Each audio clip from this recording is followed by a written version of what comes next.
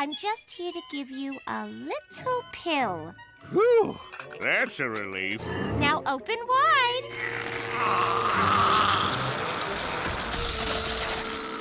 That wasn't so bad, was it?